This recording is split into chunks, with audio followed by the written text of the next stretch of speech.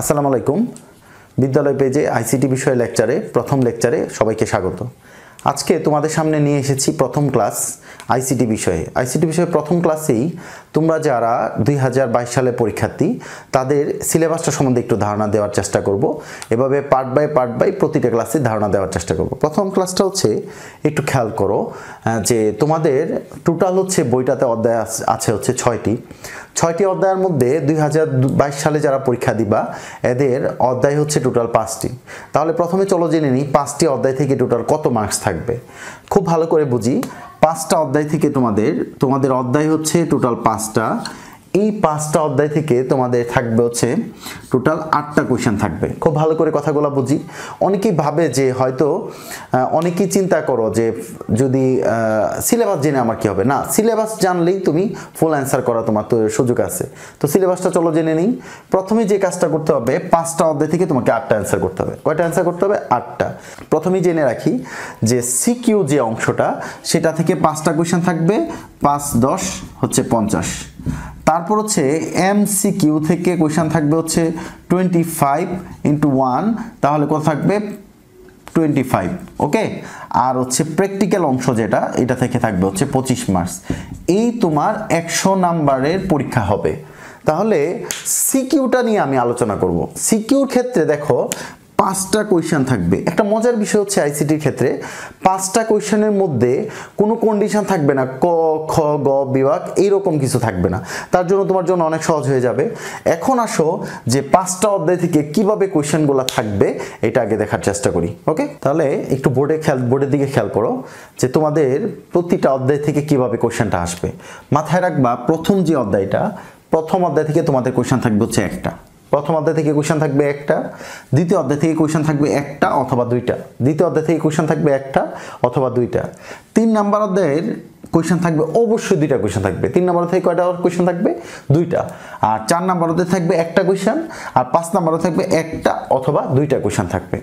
এখন এই ক্ষেত্রে খুব ভালো করে আমার কথাটা খেয়াল করো, যে এই যে তোমার দেহ প্যাটার্নটা যে কোয়েশ্চেন যদি দ্বিতীয় অধ্যায় থেকে দুইটা কোয়েশ্চেন আসে, তাহলে কিন্তু তোমার এক নাম্বার অধ্যায়, দুই নাম্বার অধ্যায়, তিন নাম্বার অধ্যায় পড়লেই হয়ে যাচ্ছে। কারণ তোমাকে পাঁচটা অ্যান্সার করতে হবে। যেহেতু আমি প্রথমেই বলেছি যে পাঁচ টোটাল যে পাঁচটা অ্যান্সার করতে হবে, এই ক্ষেত্রে তোমার কোনো কন্ডিশন থাকবে না। প্রথমত তুমি একটা অ্যান্সার করলা দ্বিতীয় একটা অথবা দুইটা তাহলে যদি দ্বিতীয় অধ্যায় দুইটা আসে, তাহলে দুইটা দুইটা অ্যান্সার করলা। আর তৃতীয় অধ্যায় দুইটা। তাহলে দেখো, দুই দুই, চার আর এক পাঁচ। তাহলে এক নাম্বার, দুই নাম্বার আর তিন নাম্বার অধ্যায় পড়লেই আশা করি হয়ে যাবে। তারপরও যে অধ্যায়গুলো তোমার পড়তে হবে, কারণ তোমাদের এমসিকিউর একটা বিষয় আছে, তো এমসিকিউ এটা বিষয়টা চিন্তা করে অবশ্যই তোমাকে পড়তে হবে। এখন যে তোমার এই ক্ষেত্রে অনেকে বলে থাকবা, তাহলে কি স্যার এক নাম্বার, দুই নাম্বার অধ্যায় পড়লেও কি ভালো মার্কস পাওয়া যাবে? হ্যাঁ। মাথায় রাখবা, আমি যেহেতু পরীক্ষার খাতা দেখি, তো হিসাবে আমি বলতে পারি যে এক নাম্বার, দুই নাম্বার অধ্যায় অ্যান্সার করলেও যদি তোমার অ্যান্সারটা সঠিক হয়, তাহলে আশা করি অবশ্যই তোমার ভালো কোনো কিছু আসবে অ্যান্সার রেজাল্ট আসবে মাস্ট এখন তোমাদের অবশ্যই মাথায় রাখতে হবে, আমি যেভাবে সিলেবাসটা বললাম, তুমি ডিসাইড করবা যে তুমি কোন কোন অধ্যায়গুলো বেশি পারো। এই অধ্যায়গুলো খুব বেশি পরিমাণে পড়ো। এই ক্ষেত্রে আমি বলব যে এক নাম্বার আর দুই নাম্বার অধ্যায় যেহেতু স্যারের কোনো সহযোগিতা লাগছে না, বিদায় তুমি এক নাম্বার, দুই নাম্বার অধ্যায়টা শেষ করে রাখো। পরবর্তীতে তোমাকে যেটা করতে হবে যে তিন নাম্বার অধ্যায় তো আমার সাথে প্রতিটা ক্লাস দেখো। প্রতিটা ক্লাস দেখলে আশা করি যে তুমি দুইটা অ্যান্সার করতেই পারবা। তারপর হচ্ছে চার নাম্বার অধ্যায় দেখলেও অ্যান্সার করতে পারবা, পাঁচ নাম্বার অধ্যায় করে দেখলেও অ্যান্সার করতে পারবা। প্রতিটা ক্লাসে আমার সাথে থাকো এবং ধারাবাহিকভাবে দেখো, আশা করি যে তোমার জন্য খুব উপকার হবে। তাহলে চলো প্রথম ক্লাস প্রথম লেকচারটা দেখে ফেলি। আমার প্রথম লেকচারের আমার প্রথম লেকচারের আমার যে ভিডিও যে প্লে প্লেলিস্ট আছে প্লেলিস্ট থেকে যে তোমরা দেখে ফেলো আমাদের আমার প্রথম লেকচারটা ওকে ধন্যবাদ।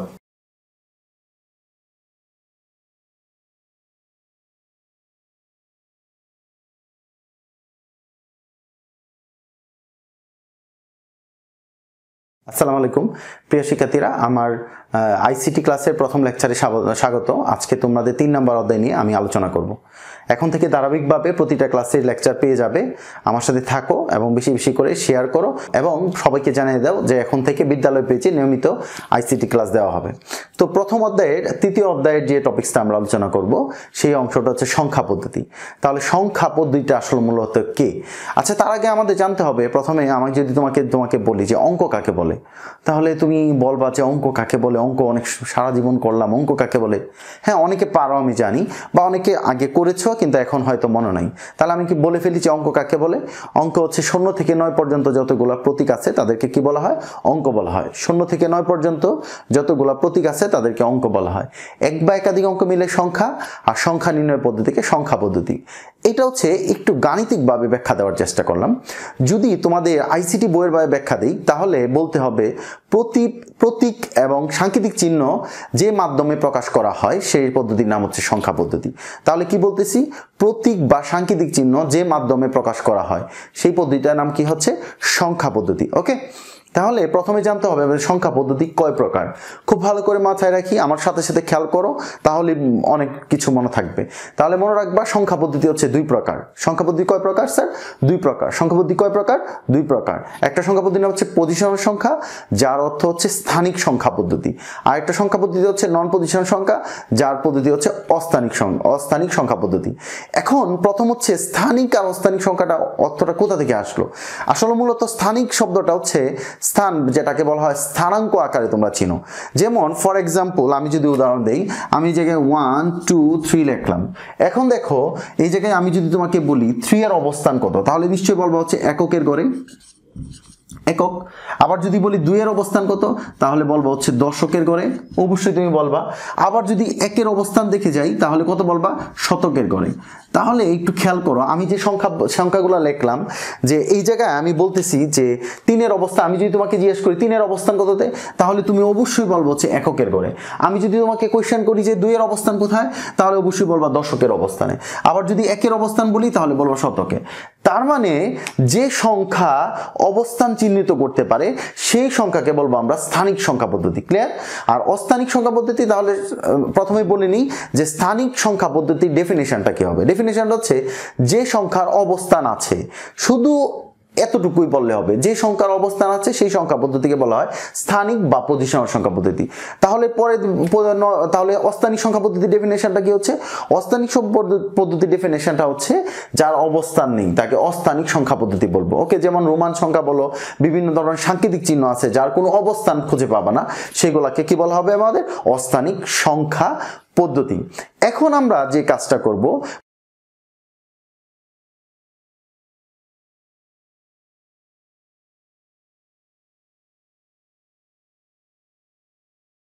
আসসালামু আলাইকুম, আইসিটি দ্বিতীয় লেকচারে সবাইকে স্বাগত। আজকে তোমাদের প্রথম ক্লাসে আমাদের আলোচনা বিষয় ছিল যে স্থানাঙ্ক নিয়ে আলোচনা করা সংখ্যা পদ্ধতি নিয়ে আলোচনা করা। সংখ্যা পদ্ধতির মধ্যে বলছিলাম যে দুই প্রকার, একটা হচ্ছে পজিশনাল আর নন পজিশনাল আজকে আমরা যে স্থানিক বা সংখ্যা সংখ্যা পদ্ধতির যে পজিশনাল সংখ্যা আছে, সেটা নিয়ে আলোচনা করব। এবং ভিডিওটা যে তোমরা, আমি আবার একটা কথা বলে নিচ্ছি, যে এই ভিডিওটা দেখার পরে আমি নিশ্চিত করে বলতে পারি, ভর্তি পরীক্ষা বলো, আবার বলো যে নর্মাল এসএসসি পরীক্ষা বলো, একটা এমসিকিউ অবশ্যই কমন পড়বে। তার মানে আমার যখন আমি দশমিক টোটাল যখন আমি স্থানিক সংখ্যা পদ্ধতি নিয়ে কথা বলব, পুরা লেকচারটা না টেনে দেখো, তাহলে আশা করি তোমার জন্য খুব উপকার হবে। তাহলে চলো, বোর্ডে আসি। প্রথমেই হচ্ছে, তোমাদের স্থানিক বা পজিশন সংখ্যাকে চারটা ভাগে ভাগ করছে। কয়টা ভাগ করছে? ওকে তোমাদের সুবিধার থেকে আমি প্রথমে বোর্ডে লিখে রাখলাম? আজকে আমরা চারটা সংখ্যা পদ্ধতি, চারটা পজিশন সংখ্যা সম্পর্কে ধারণা আলোচনা করব। ধারণা নিব, আশা করি তোমাদের খুব উপকার হবে। তাহলে প্রথমেই খেয়াল করো যে ফার্স্ট যে পদ্ধতির নাম চারটা পজিশনাল সংখ্যা হচ্ছে চার প্রকার। প্রথমটা হচ্ছে দশমিক বা ডেসিমাল সংখ্যা, তারপর হচ্ছে বাইনারি তারপর হচ্ছে অক্টাল তারপর হচ্ছে হ্যাক্সাডেসিমাল সংখ্যা। ওকে তাহলে ফার্স্টে যে আমরা আলোচনা করব, সে প্রথম যেটা, সেটা হচ্ছে ডেসিমাল সংখ্যা পদ্ধতি। তাহলে খেয়াল করো ডেসি শব্দের অর্থ হচ্ছে দশ। ডেসি শব্দের অর্থ কি স্যার দশ। ডেসিমাল সংখ্যা পদ্ধতি ডেসি শব্দের অর্থ কি দশ? তাহলে যেহেতু দশ কথাটা আসছে, তাহলে আমরা কি বলব? যে সংখ্যা পদ্ধতির প্রতীক হচ্ছে দশটি, তাকে ডেসিমাল সংখ্যা বলব। তাহলে কি বলব? যে সংখ্যা পদ্ধতির প্রতীক হচ্ছে দশটি, তাকে দশমিক সংখ্যা বলব। তাহলে প্রতীকগুলা কয়টা কয়টা zero, one, two, three, four, five, six, seven, eight, nine. তাহলে দেখো প্রতীক কয়টা? দশটা। যে সংখ্যা পদ্ধতি প্রতীক হচ্ছে দশটি, তাকে কি বলব আমরা? ডেসিমাল সংখ্যা বা দশমিক সংখ্যা বলব। এখন তোমার মাথায় কোয়েশন আসতে পারে যে স্যার ডিসিমাল সংখ্যা পদ্ধতি আসলে কেন আবিষ্কার হইল? খুব ভালো করে কথাটা বুঝি। তোমাকে কেউ স্যার কোয়েশ্চেন করল যে আচ্ছা বলো তো দশমিক সংখ্যা কেন আবিষ্কার হলো? খুব ভালো করে মনে রাখবা। দশমিক সংখ্যা মূলত আবিষ্কার হয়েছে হয়েছে আমাদের দৈনন্দিন জীবনে যত কাজ করি, সকল ক্ষেত্রে আমাদের দশমিক সংখ্যার ব্যবহার আছে। তুমি যোগ করলা, তুমি বিয়োগ করলা, তুমি গুণ করছ, যাই কিছু করো না কেন, সকল কিছুর পিছনে হচ্ছে দশমিক সংখ্যার অস্তিত্ব। এবং তুমি বাসা থেকে বের হলা, বাবার কাছ থেকে দশ টাকা নিছো, এটাও দশমিক সংখ্যার ব্যবহার করলা। তারপর হচ্ছে রিক্সা ভাড়া দিলা, এটাও দশমিক সংখ্যা। একটা আশ্চর্যের বিষয় দেখো, দশমিক সংখ্যা হচ্ছে এমন সংখ্যা, যে সংখ্যার ব্যবহারটা যারা পড়াশোনা করে নাই, তারাও কিন্তু করে থাকে, তাই না? তাহলে আমরা দৈনন্দিন, আমরা দৈনিক বা জীবনের কাজে প্রয়োজনে যে সংখ্যাগুলো ব্যবহার করে থাকি, সবগুলা সংখ্যাকে আমরা কি বলব? দশমিক সংখ্যা বলব। এখন আসো, আমি বলেছিলাম যে দশমিক সংখ্যার প্রতীক হচ্ছে কয়টি? দশটি প্রতীক আছে রাইট এখন একটু খেয়াল করো, পাশে একটা শব্দ রেখে, রেখেছি, বৃত্তি। আচ্ছা বৃত্তি বিষয়টা কি? একটু খুব ভালো করে বোঝার চেষ্টা। বৃত্তিটা কি? বৃত্তিটা হচ্ছে, এটা তোমরা একটা শব্দ শুনেছ যেটা আসলে হচ্ছে পাওয়ার পাওয়ার পাওয়ার হচ্ছে সূচকের মধ্যে আমরা পাইছি, তাই না? তো ওই পাওয়ারটাকে বলা হচ্ছে বৃত্তি, যার অর্থ। বৃত্তির আরেকটা শব্দ অর্থ আছে, সমার্থক শব্দ, সেটা হচ্ছে সমাবেশ। কি সমর্থক শব্দ সমাবেশ। এখন আমি যদি জিজ্ঞেস করি, দশমিক সংখ্যার মধ্যে, প্রতীকের মধ্যে তুমি কয়টা সংখ্যা সমাবেশ পেয়েছ? তাহলে তুমি অবশ্যই বলব, স্যার, এই জায়গায় তো দশটি সংখ্যার সমাবেশ আছে। তাহলে এই প্রতীকের মধ্যে জয়টা সংখ্যার সমাবেশ থাকবে, এতই হচ্ছে তার বৃত্তি তাহলে প্রতীকের মধ্যে কয়টা সমাবেশ আছে? দশটি সংখ্যার। তাহলে বৃত্তি কত হচ্ছে? দশ। আশা করি সবাই বুঝে ফেলেছ। তাহলে আমি যদি তোমাকে বলি যে প্রতীক হচ্ছে দশটি, তাহলে বৃত্তি কত? তুমি সাথে সাথে বলে দিতে পারবা যে বৃত্তি হচ্ছে দশ। এরপর আসো যে সংখ্যা হচ্ছে বাইনারি সংখ্যা।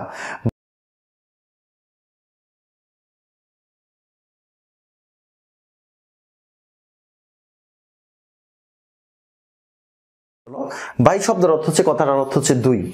তাহলে যে সংখ্যা পদ্ধতির প্রতীক কয়টি হবে বলো? যে সংখ্যা পদ্ধতির প্রতীক হবে দুইটি, তাকে কি বলব আমরা? বাইনিং সংখ্যা পদ্ধতি। তাহলে যে সংখ্যা পদ্ধতি প্রতীক হবে দুইটি, তাকে কি বলব আমরা? বাইনিং সংখ্যা। তাহলে দুইটি প্রতীক কি? শূন্য আর হচ্ছে ওয়ান। এখন কথা হচ্ছে যে, স্যার, তাহলে বাইনি সংখ্যা কেন আবিষ্কার হলো? খুব ভালো করে মনে রাখি। বাইনারি সংখ্যা কেন আবিষ্কার হয়েছে? বাইনারি সংখ্যা আবিষ্কার হচ্ছে শুধু কম্পিউটারে ব্যবহারের জন্য। তার মানে তুমি যখন পঞ্চম অধ্যায়ে যাবা, তখন ওই অধ্যায়ের মধ্যেই মূলত হচ্ছে বাইনারি সংখ্যা কেন আবিষ্কার হয়েছে, আশা করি খুব ভালো করে বুঝতে পারবা। তোমাকে যদি স্যার কোশ্চেন করে বাইনারি সংখ্যা আমরা কি কাজে ব্যবহার করি, অবশ্যই বাইনারি সংখ্যা আমরা কম্পিউটারের কাজে ব্যবহার থাকি, ব্যবহার করে থাকি। তুমি তো আসলেই জানো যে কম্পিউটার তার ডিজিটাল সংকেতের মাধ্যমে তার তথ্য আদান প্রদান করে। আর ডিজিটাল সংকেতের মধ্যে যে তথ্য আদান করে সেটা হচ্ছে শূন্য আর ওয়ানের জন্য একে বলা হচ্ছে, বাইনারি সংখ্যা বলা হচ্ছে।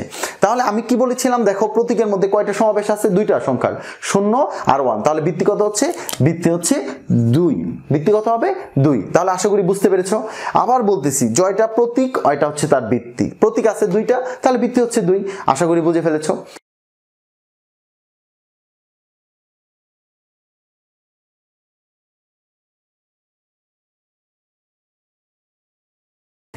এখন আসো, পরবর্তীতে কথা হচ্ছে আমরা আলোচনা করব হচ্ছে অক্টাল। আচ্ছা অক্টাল শব্দটা অনেকটা মনে হচ্ছে অষ্টকের সাথে যায়। তাহলে অষ্টক মানে হচ্ছে আট, যেটা, তাহলে যে সংখ্যা পদ্ধতি প্রতীক হচ্ছে আটটি।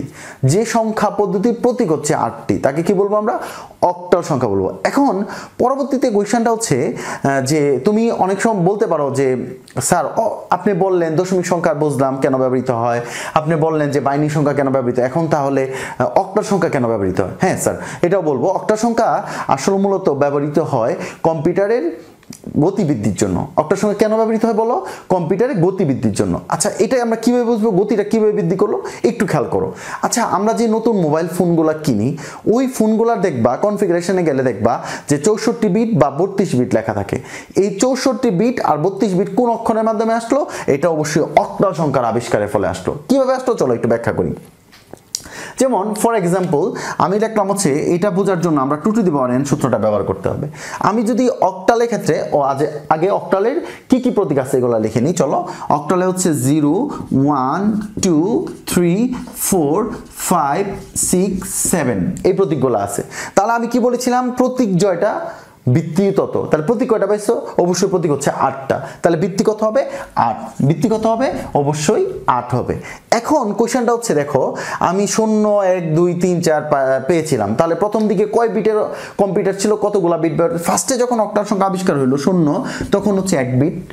যখন আবিষ্কার হইল ওয়ান, তখন দুই বিটের সংখ্যা পদ্ধতি। তারপর হচ্ছে যখন আবিষ্কার হইল টু, তখন হচ্ছে চার বিট।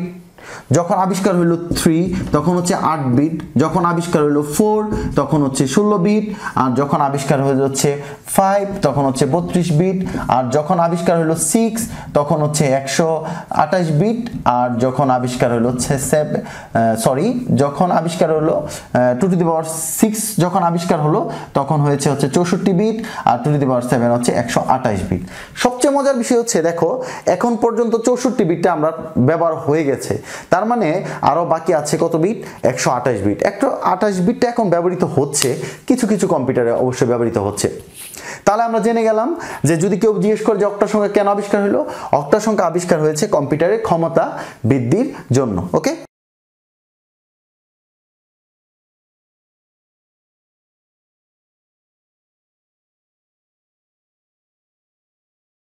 এবার চলো আসি হেক্সাডেসিমের সংখ্যা।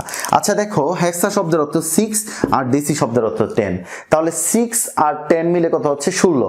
তাহলে আমি যদি কোশ্চেনটা এবার বলি, যে সংখ্যা পদ্ধতিক প্রতীক হচ্ছে ষোলোটি, তাকে আমরা হেক্সাডেসিমের সংখ্যা বলব। তাহলে কি কি sir প্রতীকগুলো? Zero one two three four five six seven eight nine কটা হলো? দশটা। আর এ থেকে A, B, C, D, E, F. তাহলে টোটাল কয়টা হলো? প্রতীক হচ্ছে ষোলোটি। এখন আমি কি বলছিলাম জয়টা প্রতীক কয়টা হচ্ছে তার ভিত্তি। তাহলে একটু খেয়াল করো প্রতীক কয়টা ষোলোটি। তাহলে ভিত্তি কত হচ্ছে তার? ভিত্তি হচ্ছে ষোলো। হ্যাঁ এখন আসো যে এই জায়গায় নয়ের পরে এর একটা কাল্পনিক মান হিসাবে চিন্তা করতে হয়। এর মানটা হচ্ছে দশ বি এর মানটা হচ্ছে এগারো সি এর মানটা হচ্ছে বারো ডি এর মানটা হচ্ছে তেরো ই এর মান চোদ্দ এফ এর মান হচ্ছে পনেরো। এই মানগুলো তোমাকে অবশ্যই মনে রাখতে হবে। এখন কোয়েশ্চেনটা হচ্ছে স্যার আপনি দশমিক সংখ্যা কেন ব্যবহৃত এটা বললেন? দশমিক সংখ্যা কেন ব্যবহৃত এটা বললেন? আপনি বাইনিক সংখ্যা কেন ব্যবহৃত এটা জানলাম। তাহলে অক্টা সংখ্যা কেন ব্যবহৃত এটা? তাহলে হ্যাক্সাডিসিমের সংখ্যা কেন আবিষ্কার হলো? খুব ভালো করে বুঝি। আচ্ছা আমি যদি তোমাকে বলি যে মৌলিক রং কয়টা, তাহলে তুমি বলবা যে তিনটা। তাহলে তাহলে তিনটা বলবা। আবার অনেকে বলবা হচ্ছে বেনিয়া সহ কলা মানে সাতটা রং দুন সাত রং, এটাকে মৌলিক রং বলবা। না, কিন্তু মৌলিক রং এইগুলোই, কিন্তু যখন হ্যাক্সার সিমের সংখ্যা আবিষ্কার হলো, পৃথিবীতে তখন ষোলো কোটি কালার কালার তৈরি করা গেল, যার মাধ্যমে হ্যাক্সার সিমের সংখ্যার কাজেই হচ্ছে কালার প্রডিউস করা। এই যে বিভিন্ন ওয়েবসাইটে কালার দেখছ, বা বিভিন্ন প্রিন্টের কালার দেখো, যে তোমার কাছে খুব ভালো লাগছে, এই কালারগুলো কীভাবে হচ্ছে? এই হ্যাক্সার সিমের সংখ্যা দ্বারা। তাহলে একটা আশ্চর্য বিষয় শিখলা, যে এখন তোমাকে হঠাৎ করে জানলা যে হেক্সাডেসিমের সংখ্যা কিসের জন্য আবিষ্কার হলো? হেক্সাডেসিমের হচ্ছে কালারের জন্য আসে। আর পৃথিবীতে ষোলো কোটি কালার প্রডিউস করেছে হেক্সাডেসিমের সংখ্যা। আশা করি বুঝতে পেরেছ? আমি এখন যে কথাটা বলব, খুব ভেরি ভেরি ইম্পর্টেন্ট সেই কথাটা হচ্ছে আমি প্রথম ক্লাসে প্রথমেই বলেছিলাম যে আমার লেকচারের পরে তোমরা অবশ্যই এক অথবা দুই নাম্বার ভর্তি পরীক্ষা অ্যান্সার করতে হবে। কী করলে অ্যান্সার করতে খুব ভালো করে। এখন খেয়াল করো, আমি যদি তোমাকে বলি যে কোন সংখ্যার প্রতীক হচ্ছে ষাটটি তাহলে ভিত্তি কত হবে? হ্যাঁ চিন্তা করো। ভিত্তি কত হবে বলো? কোন সংখ্যার প্রতীক হচ্ছে ষাটটি তাহলে বৃত্তি কত হবে? বৃত্তি হবে কত? বৃত্তি হবে সাত। কারণ কি বলছিলাম? জয়টা প্রতীক ওইটা হচ্ছে তার বৃত্তি এখন আমি বললাম যে কোন সংখ্যার বৃত্তি হচ্ছে পাঁচ, তাহলে প্রতীক কয়টা? প্রতীক হচ্ছে পাঁচটি। কোন সংখ্যার, কিন্তু যখন বলতে যাব, তখন কত হবে? শূন্য থেকে চার পর্যন্ত বলব। যেমন ফর এক্সাম্পল তোমাকে এরকম বলা আছে থ্রি ফোর আর এই জায়গায় ফাইভ দেওয়া আছে। তার মানে হচ্ছে এই জায়গায় ফাইভ বলতে ফাইভ ভিত্তিক সংখ্যা। এখন তোমাকে যদি বলা হয় ফাইভ ভিত্তিক সংখ্যার মধ্যে কি কি প্রতীক আছে, তাহলে বলবা শূন্য ওয়ান টু থ্রি ফোর কত বলবা? শূন্য one two three four okay clear তো এভাবে তোমার, তোমাকে যদি কেউ জিজ্ঞেস করে যে এগারো ভিত্তিক সংখ্যা প্রতীক আছে হচ্ছে এগারোটি, তাহলে ভিত্তিগত তাহলে বলব ভিত্তি এগারো। আর ধরে নাও প্রতীক যদি ষাটটি বলা হয়, তাহলে ষাটটি বলব। ভিত্তি যদি আট বলা হয়, আটটি বলব। যে যত বলবে, প্রতীক জয়টা বলবে, ভিত্তি ততই হবে। এটা তোমাদের অবশ্যই মনে রাখতে হবে। আশা করি যে আমার ক্লাসটা ভালো লেগেছে। ভালো যদি লেগে থাকে, তাহলে